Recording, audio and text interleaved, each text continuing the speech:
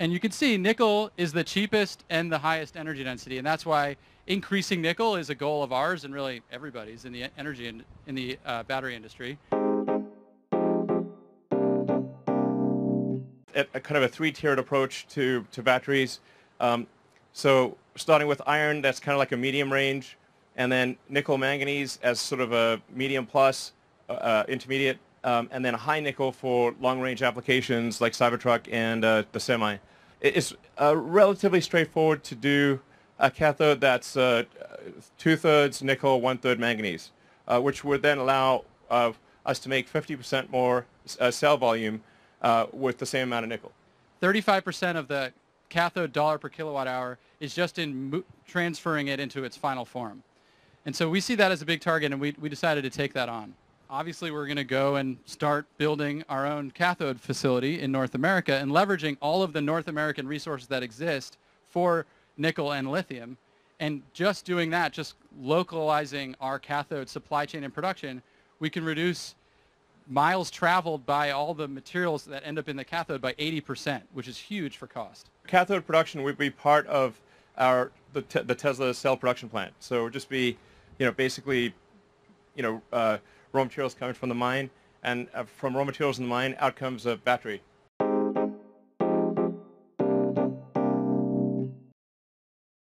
Hello and welcome to our Minds and Money 5 at 5 show. This week it's sponsored by RK Equity in association with the Resource Global Network. Howard founded uh, the boutiques capital markets advisory firm RK Equity in 2002. He has over 25 years of capital markets and investing experience across multiple investment themes and natural resources. Thanks all for coming. We're just going to start with a few of RK Equity's uh, takeaways from Battery Day high nickel cathode uh, demand dominates uh, Tesla, you know, until they introduce a $25,000 car and mass energy storage takes off. For nickel, did talk about reducing, you know, steps in the nickel processing. The beneficiaries of Battery Day are on this panel, in our view. You know, high grade nickel sulfide deposits in the U.S. and Canada. I'm also uh, attracted to sulfide nickel projects. Uh, sulfide nickel projects, when you find them, are enormous money spinners. The difficulty is that they're fairly tough to find. Uh, and certainly, while I understand that uh, there is ongoing demand for laterite nickels too, uh, coming out of the Philippines and Indonesia, what I'm particularly interested in is high quality, high grade sulfide nickel deposits, uh, which I think in almost any market make investors a lot of money. Okay, Rodney, Rick Rule is uh, stating a preference for sulfides over laterites. Why? Uh, in short, uh, high nickel sulfides uh, are more expensive to mine but much cheaper to process, and, and laterites cheaper to, to mine and more expensive to process. If you look at the capital intensity of doing a sulfide mine, it's typically say twelve to fifteen thousand dollars a ton. Laterites can run as high as sixty thousand.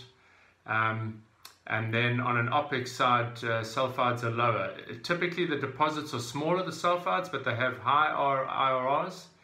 And if you can extend, extend the mine life, they, uh, they turn out to be very good deposits. So you tend to find that they can pay at, um, at much lower nickel prices. And then the other benefit they have is um, with a nickel, with a high nickel sulfide, you make a nickel concentrate, something between 10 and 20 percent, and that can be either sold to um, to you know if you look at someone like uh, Tesla that's looking to jump straight uh, through the uh, processing techniques straight to uh, some kind of precursor or sulfate, um, or you can sell it to um, the smelters in Sudbury. So you've got some competitive tension on the product.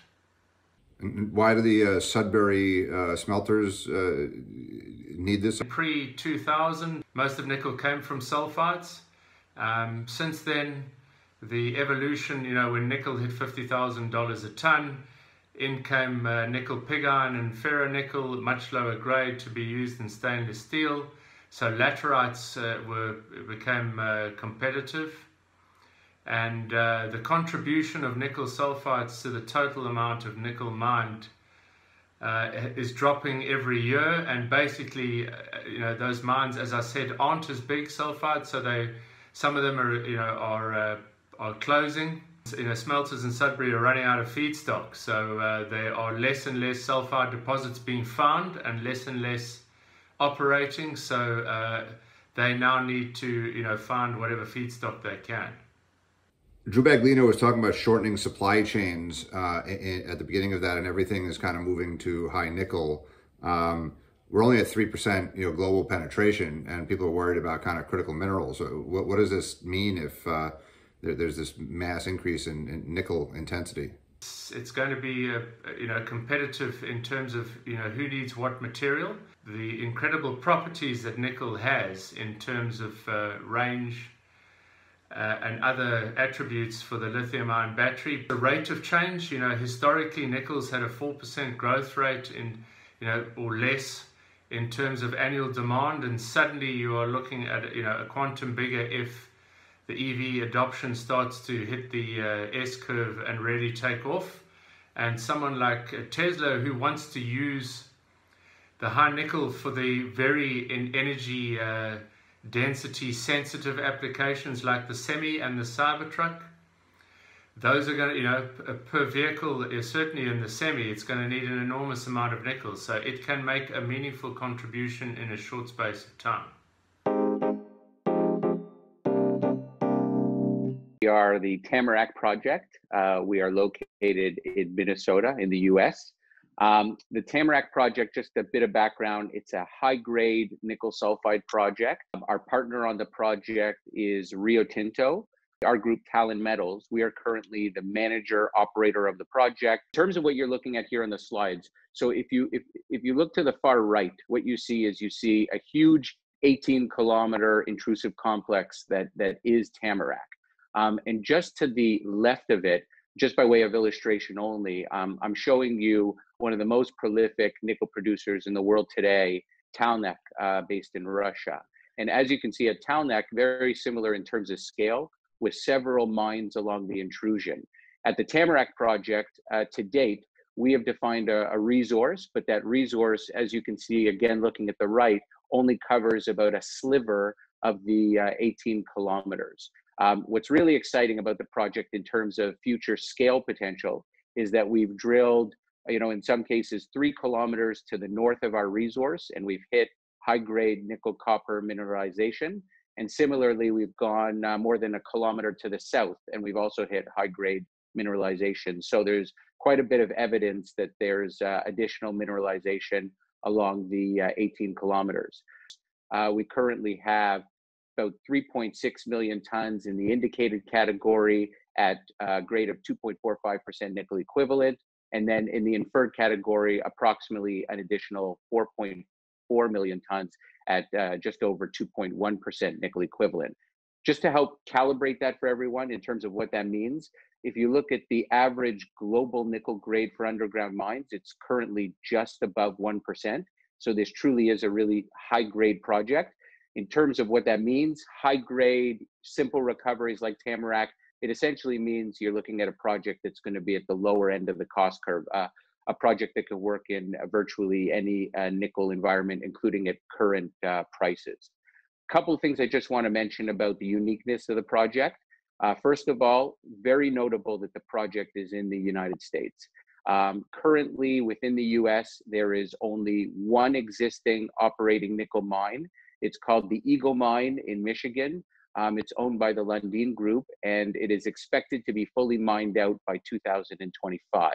After Eagle, in terms of what's left in the United States, there's Tamarack. Um, as of as far as we're aware at the moment, uh, we would be the only one. So that, from a strategic standpoint, makes us very relevant, especially to the discussion of a domestic uh, supply chain uh, within the United States for the EV sector. One other thing I'll mention that's unique about us because we're high grade, because we'll be a low cost producer, uh, while I recognize that we're obviously talking about Tesla tonight and some of the impacts from Battery Day, the reality is we are not dependent upon the EV market to be successful. Um, we believe that there will be a tug of war between the EV manufacturers, the stainless steel manufacturers, and even the battery manufacturers for the product that will be ultimately produced from Tamarack. So what you're looking at is at the top, you're looking at the current nickel supply chain for batteries. And you've probably heard a lot of talk that the current supply chain is very inefficient. Well, what do, what do we mean by that? Well, first of all, the, the, the supply chain really was built for the stainless steel market and not for batteries. And so we believe there's a number of steps that can be cut out along the way. And again, that's something that Elon Musk had mentioned as well.